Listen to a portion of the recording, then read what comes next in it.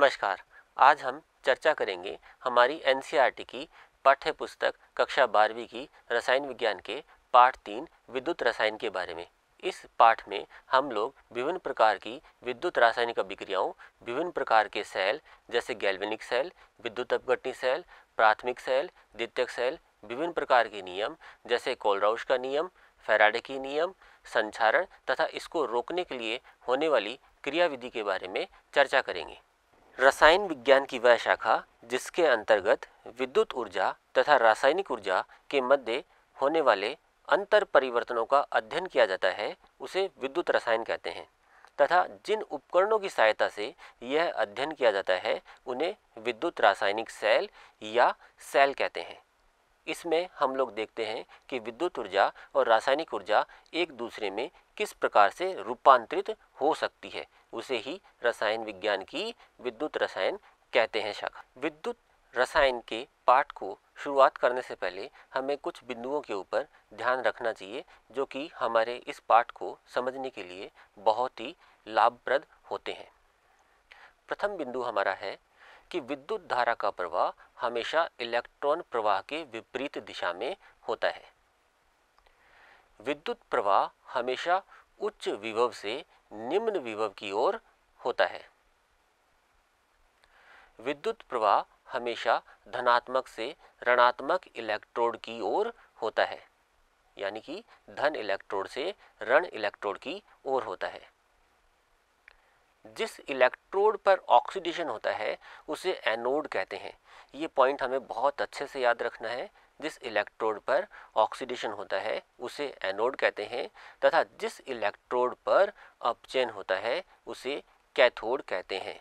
अब हम देखते हैं कि सेल हमारे पास कितने प्रकार के होते हैं। सेल वह उपकरण है जिसमें हम लोग विद्युत ऊर्जा तथा रासायनिक ऊर्जा के बीच होने वाले अंत परिवर्तनों का अध्ययन करते हैं। प्रथम प्रकार का हमारे पास सेल है, विद्युत अपघटनी सेल। इसमें विद्युत ऊर्जा रासायनिक ऊर्जा में परिवर्तित होती है।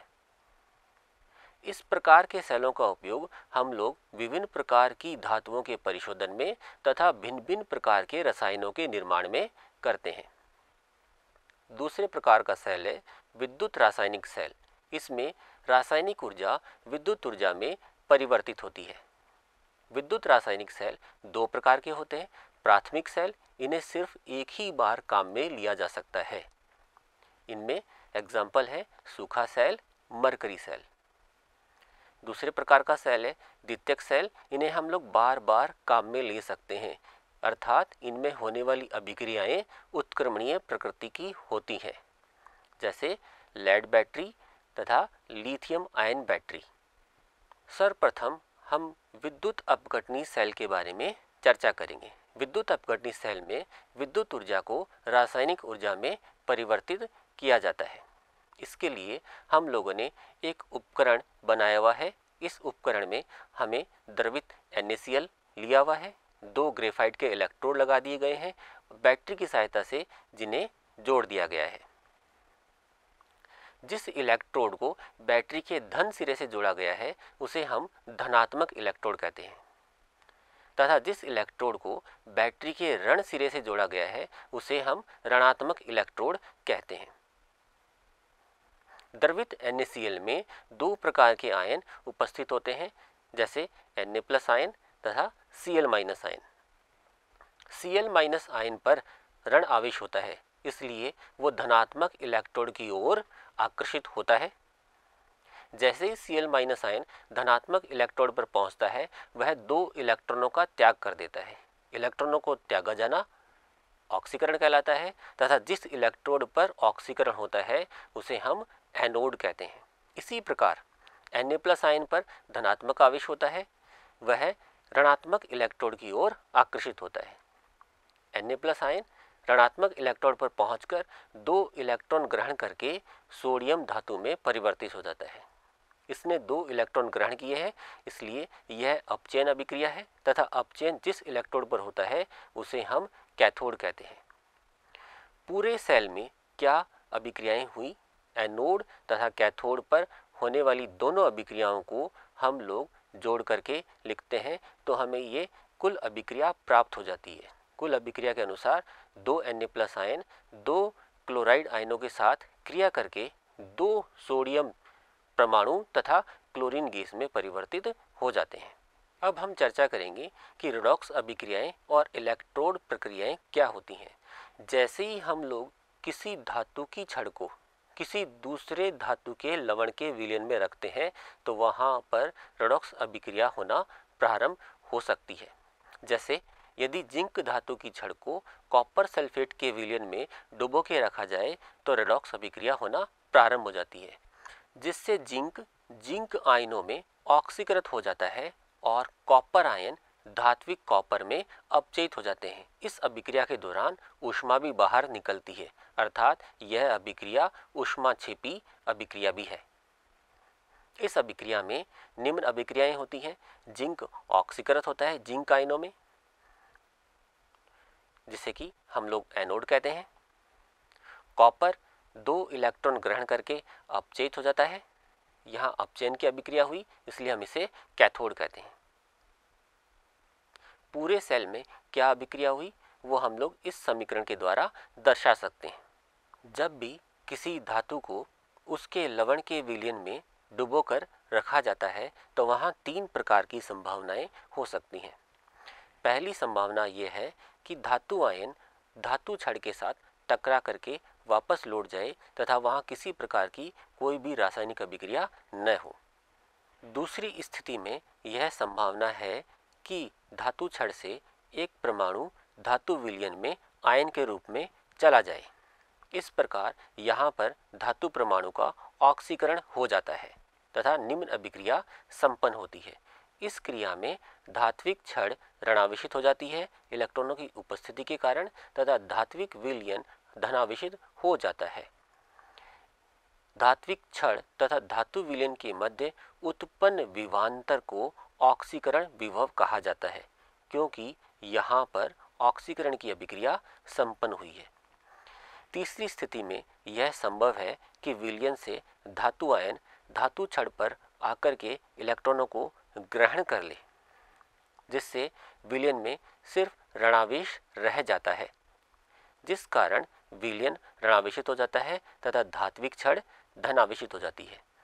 यहाँ पर इस अभिक्रिया में अपचयन हुआ है, इसलिए धातु क्षण तथा विलयन के मध्य उत्पन्न विवांतर को अपचयन विभव कहा जाता है। इलेक्ट्रोड और विद्युत अपगट्टे के बीच एक विद्युत विवांतर विकसित होता है उस विद्युत विवांतर को ही इलेक्ट्रोड विभव कहा जाता है। अभी हमने देखा कि यह इलेक्ट्रोड विभव दो प्रकार का होता है, ऑक्सीकरण विभव तथा अपचयन विभव। अब हम लोग एक इलेक्ट्रोकेमिकल सेल या जिसे गैल्वेनिक सेल भी कहा जाता है, उसकी चर्चा करेंगे। इलेक्ट्रोकेमिकल सेल या गैल्वेनिक सेल में दो भाग होते हैं।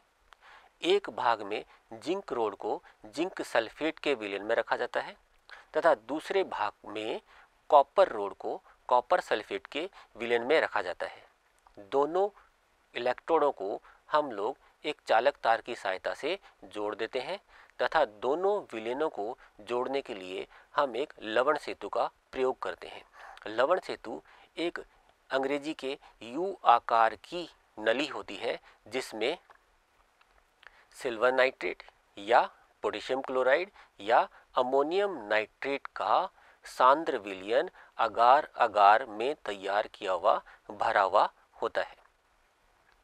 जब जिंक रोड को हम लोग जिंक सल्फेट के विलयन के साथ रखते हैं तो इस अभिक्रिया में हमारे पास जिंक के परमाणु दो इलेक्ट्रॉनों का त्याग करके विलयन में चले जाते हैं। दो इलेक्ट्रॉनों का त्याग करने के कारण हमारी जिंक रोड ऋणावेशित हो जाती है, इसलिए इसे ऋणात्मक इलेक्ट्रोड कहा जाता है। इस इलेक्ट्रोड पर ऑक्सीकरण की प्रक्रिया हुई है, इसलिए इसे एनोड भी कहते हैं। ये दो इलेक्ट्रॉन चालक तार की सहायता से कॉपर रोड के ऊपर पहुँच जाते हैं। यहाँ पर कॉपर आयन इन दो इलेक्ट्रॉनों को ग्रहण करके धात्विक कॉपर में परिवर्तित हो जाता है।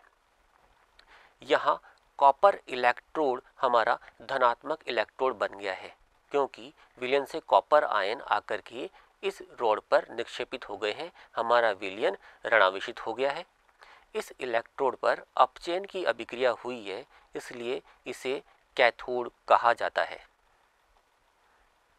पूरे सेल में निम्न रासायनिक अभिक्रिया संपन्न हुई है, जिसमें जिंक ने कॉपर आयनों को क्रिया करके स्वयं जिंक आयन में परिवर्तित हो गया तथा कॉपर आयनों को कॉपर धातु में परिवर्तित कर दिया है। इसे हम गैल्वेनिक सेल या इलेक्ट्रोकेमिकल सेल कहते हैं।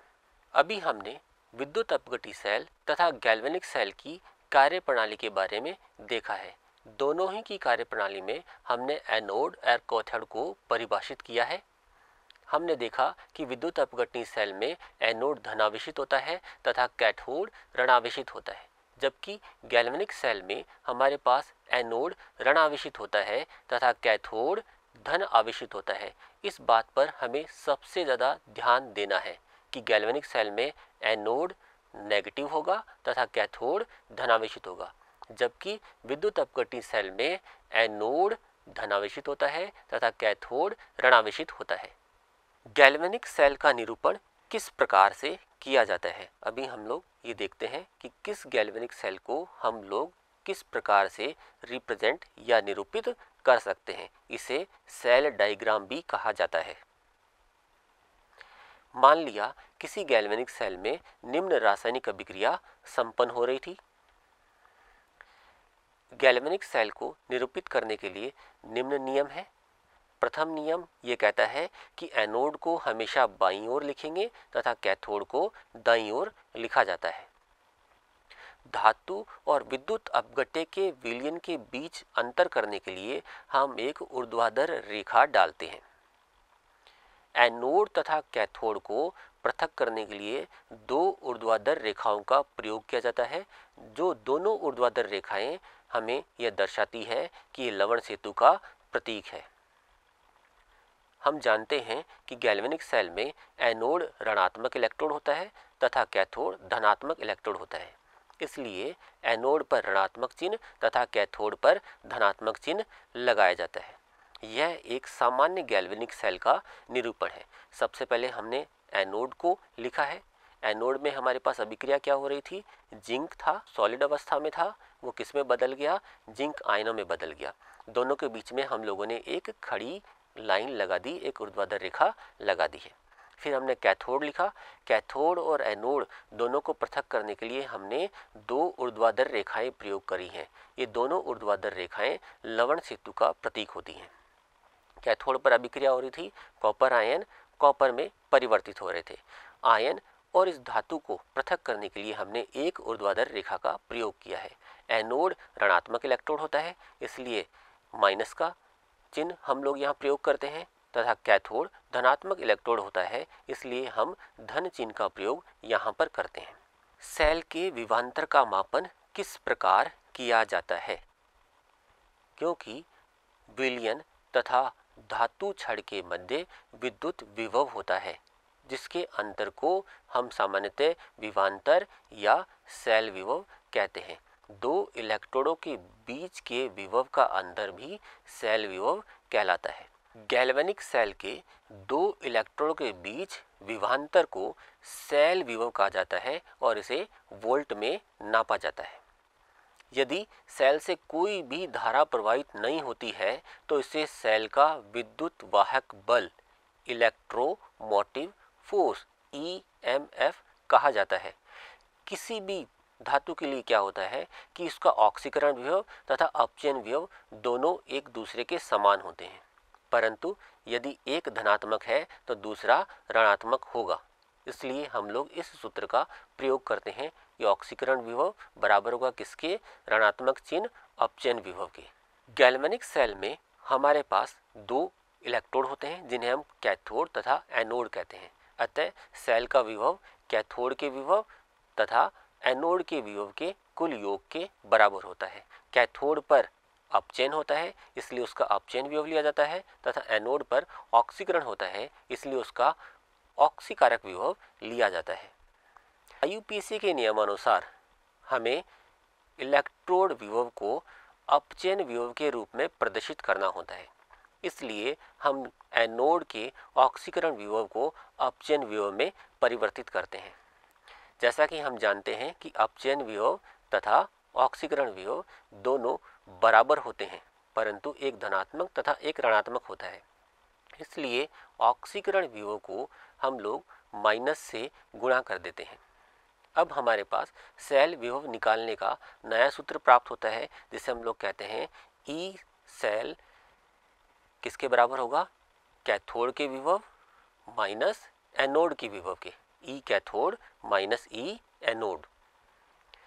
Galvanic cell के निरूपण में हम लोग एनोड को बाई ओर लिखते हैं, यानी हमारे लेफ़्ट हैंड की तरफ़, तथा कैथोड को दाई ओर लिखते हैं, यानी कि राइट हैंड की तरफ़। अतः इस सूत्र को इस प्रकार भी लिखा जा सकता है ई e सेल क्या हो सकता है? E cathode minus E anode या E right electrode minus left electrode.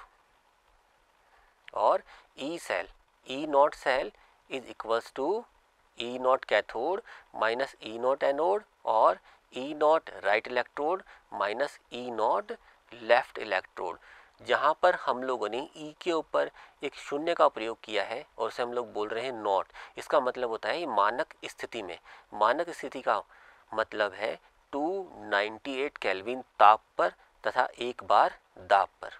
किसी भी इलेक्ट्रोड के निरपेक्ष विभव का मापन आसान कार्य नहीं है। गैल्वेनिक सेल में दो इलेक्ट्रोडों के बीच के विभांतर को सेल विभव कहते हैं, जिसे वोल्ट में नापा जाता है। जब सेल को इस प्रकार प्रयोग में लाया जाए कि सेल से कोई भी विद्युत धारा प्रभावित नहीं हो रही है तो इसे सेल का विद्युत वाहक बल भी कहा जाता है। एकाकी इलेक्ट्रोड के परम विभव का मापन संभव नहीं है, क्योंकि विद्युत संबंध के लिए हमें एक दूसरे इलेक्ट्रोड की आवश्यकता होती है। जिसके लिए हम स्वेच्छा से किसी इलेक्ट्रोड के विभव को शून्य मानकर इससे जुड़े दूसरे इलेक्ट्रोड के विभव का निर्धारण इस इलेक्ट्रोड के सापेक्ष कर सकते हैं। इस उद्देश्य के लिए मानक हाइड्रोजन इलेक्ट्रोड का हम चयन करते हैं, जिसके विभव को प्रत्येक ताप पर शून्य माना गया है। मानक हाइड्रोजन इलेक्ट्रोड में प्लेटिनम इलेक्ट्रोड पर प्लेटिनम ब्लेक का लेपन लगा होता है। इस प्लेटिनम इलेक्ट्रोड को एक मोलर सांद्रता वाले हाइड्रोक्लोराइड विलियन में डुबोकर रखा जाता है। इस पर एक बार दाब पर शुद्ध हाइड्रोजन गैस प्रवाहित की जाती है। इस इलेक्ट्रोड का इलेक्ट्रोड विभव स्वेच्छा से शून्य माना गया है। इस इलेक्ट्रोड पर यह अभिक्रिया संपन्न होती है। अभिक्रिया में H प्लस आयन इलेक्ट्रॉनों को ग्रहण करके अपचेत हो जाते हैं हाइड्रोजन गैस में। इस सेल का सेल रिप्रेजेंटेशन हम इस प्रकार से कर सकते हैं। मानक हाइड्रोजन इलेक्ट्रोड अर्थात शी को एनोड और अन्य अर्ध सेल को कैथोड के रूप में लेकर निर्मित एक सेल अन्य अर्ध सेल का अपचयन विभव देता है। यदि विद्युत अपघट्य की सांद्रता एक एम है और सेल विभव को मानक इलेक्ट्रोड विभव कहा जाता है 298 केल्विन पर सेल का इलेक्ट्रोमोटिव फोर्स यानी विद्युत वाहक बल निम्न होगा। जैसा कि हमारे पास समीकरण है E nought equals to E nought right electrode minus E nought left electrode left electrode अर्थात एनोड एनोड हमने बनाया है मानक हाइड्रोजन इलेक्ट्रोड को। मानक हाइड्रोजन इलेक्ट्रोड का इलेक्ट्रोड वियोग शून्य माना गया है। तो इस समीकरण फिर से रूपांतरित होकर के हमारे पास इस प्रकार आएगी। ई नॉट किसके बराबर होगा? ई नॉट राइट इलेक्ट्रोड के। राइट इलेक्ट्रोड कौन है हमारे पास? जिस भी धातु का हमें इलेक्ट्रोड विभव ज्ञात करना है। विद्युत रासायनिक सेल्स और गिब्स ऊर्जा में परस्पर क्या संबंध होता है? अभी हम उसके बारे में चर्चा करते हैं। एक सेकंड में किया गया विद्युत कार्य निम्न समीकरण के द्वारा दिया जाता है। W इलेक्ट्रिक डब्लू इलेक्ट्रिक का अर्थ है विद्युत कार्य। वो किसके बराबर होगा? विद्युत आवेश को जब हम लोग विद्युत विभव से गुणा करते हैं। अर्थात डब्लू इलेक्ट्रिक बराबर होगा क्यू वी क्यू चार्ज है वी है विभांतर क्यू किसके बराबर होता है? एन एफ़ के बराबर होता है। क्यू का मान हम लोग यहाँ पर रख देते हैं। समीकरण हमारे पास क्या बनेगा? N F E cell V विभांतर की जगह हम लोगों ने उपयोग किया है ई सेल ई का मतलब है विद्युत वाहक बल। सो so, हमारे पास डब्लू इलेक्ट्रिक नया समीकरण क्या हो गया? किसके बराबर हो गया? N F E cell Q का अर्थ क्या है यहाँ पर? एन गुणा एफ़ वी को हम लोगों ने क्या मान लिया है? ई सेल सेल का विद्युत वाहक बल। एन का अर्थ है इलेक्ट्रॉनों की मात्रा। ई सेल का अर्थ है सेल का इलेक्ट्रोमोटिव फोर्स और एफ़ को बोलते हैं हम लोग एक फैराडे एक फैराडे का अर्थ होता है, एक मोल इलेक्ट्रॉनों पर कितना आवेश उपस्थित है।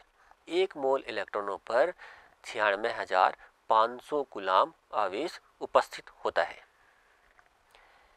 यदि हम गैल्वेनिक सेल से अधिकतम कार्य प्राप्त करना चाहते हैं तो आवेश को उत्क्रमणीय रूप से पारित करना होगा।